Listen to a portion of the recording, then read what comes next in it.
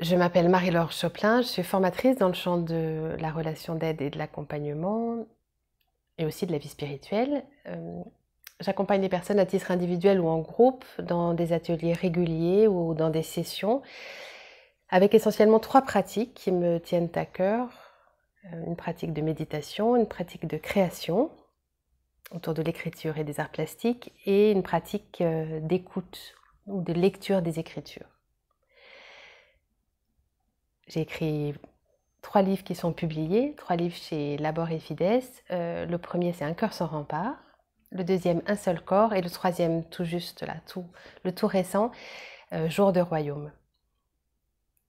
Euh, écrire pour moi, même si ces trois livres sont bien différents, c'est la façon que j'ai depuis très longtemps, j'allais dire depuis toujours, mais non, mais depuis très longtemps, de recevoir la vie, d'entendre. En fait, c'est ma façon d'entendre.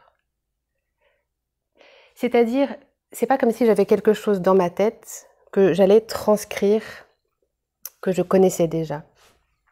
J'écris pour découvrir ce qui m'habite, pour, euh, pour lui donner cher. C'est une expérience pour moi autant de découverte peut-être qu'un lecteur, par exemple, qui ouvre et qui va se dire Ah, ah oui, et eh ben moi c'est pareil. Là, hier encore, j'écrivais. Euh, pour une revue. Et en écrivant, à un moment, je me suis dit, ah, voilà, c'est ça. Donc j'écris pour ça. J'écris pour avoir accès à ce qui m'anime et à ce qui fait la vie dans ma vie. Alors, les trois livres sont bien différents. Le premier livre, je m'étais fixé un objectif extrêmement précis. Euh, je pratiquais la méditation, une méditation euh, dans laquelle je me reconnaissais ni dans cette école, ni dans celle-ci, ni dans celle-ci. Et je me suis dit, je vais écrire pour dire mot à mot, pas à pas, tout petit pas par tout petit pas, c'est quoi ce que je vis quand je médite. Donc je me suis fixé ça. Et donc, vraiment, quand un tout petit pas a été décrit, je me suis dit chapitre plié. Maintenant, c'est quoi ce qui me vient là? Tout petit pas, chapitre plié. Et c'était pour moi, pour pouvoir mettre des mots sur euh, ce que je sentais comme à la fois une différence et à la fois quelque chose qui rejoignait en souterrain d'autres traditions. Donc j'ai écrit pour formuler ce qui se passait pour moi. Le deuxième et le troisième, c'est l'histoire de rencontres, mais le deuxième, c'est des rencontres où on ne se rencontre pas, j'allais dire. C'est des croisements. C'est des croisements dans la rue, d'anonymes. Et c'est euh, cette vie, moi je suis citadine, cette vie, cette vie de la ville et comment des tissages ont lieu entre des personnes qui ne se parlent pas, mais qui fréquentent les mêmes rues, euh, qui vivent sous le même ciel et entre les mêmes pierres. Et dans mon troisième livre, c'est des vraies rencontres, des vraies rencontres. On s'est présenté, on a passé du temps ensemble. Et je crois finalement que bah, l'objectif, c'est le même que celui que je disais au début, c'est de, pouvoir ouvrir un espace de résonance à ce qui s'est vécu là. C'est un peu comme si la vie allait trop vite pour moi et que j'avais besoin d'écrire pour revenir au rythme qui est le mien pour pouvoir euh, goûter ce que c'est que la vie. Pendant longtemps, j'ai écrit euh, sans montrer, vraiment sans montrer, euh, c'est-à-dire euh, à personne.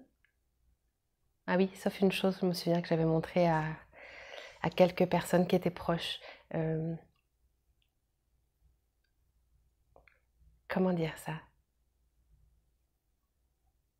Il y a un double mouvement qui est très dur à exprimer en une seule chose qui est que ce que j'écris est très personnel, c'est-à-dire intime même. Euh, on pourrait dire quelque chose euh, qui rendrait difficile de l'envoyer voyager ailleurs parce que c'est très intime.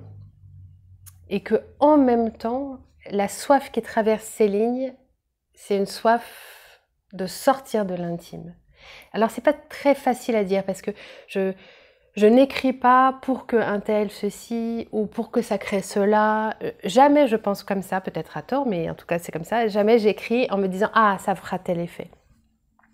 En revanche, c'est comme si l'élan, l'énergie, la source, elle venait parce que c'était adressé. Alors adressé, je ne sais pas comment, et...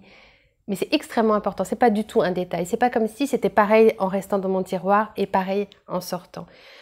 L'écriture. Euh, mon écriture, aussi intime qu'elle soit, elle est adressée et du coup sa vie c'est de, partir.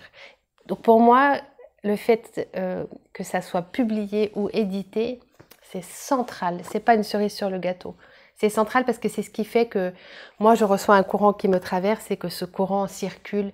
Et c'est tellement la même, c'est étrange, vous je ne m'attendais pas à dire ça, la même substance que l'écriture, cette chose-là, euh, qui m'arrive dans l'écriture, qu'on est reliés ensemble et que il faut que ça circule, voilà. Je sais pas comment dire, il faut que ça circule. C'est pas possible que ça reste dans sa case, c'est pas fait pour ça.